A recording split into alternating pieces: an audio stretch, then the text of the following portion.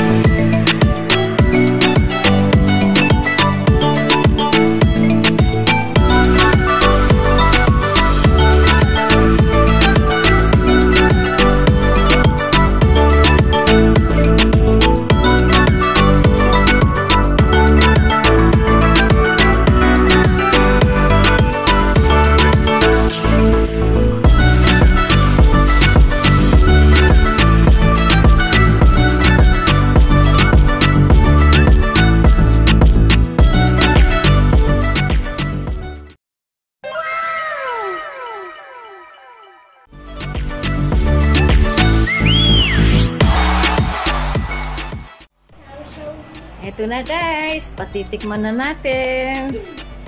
Kay Prince. Eto na si Prince. Kakain si Prince. Ayan. Bibigyan natin ng bibigyan siya nat, natin siya ng itlog at Chicken. chicken at konting sabaw. Yan. Ayan po. May luto-luto na. Ayan na. Sarap to. Ay, yes! Ayan. Ayan, Prince. Ayan, titikman na ni Prince kung anong titignan natin kung anong masasabi niya. Ayun, itlog. Ito na siya. Kakain na siya. Titignan natin kung mag... Ayan na si Prince. Kumakain na. Anong masasabi mo, Prince? Sige. Masayap.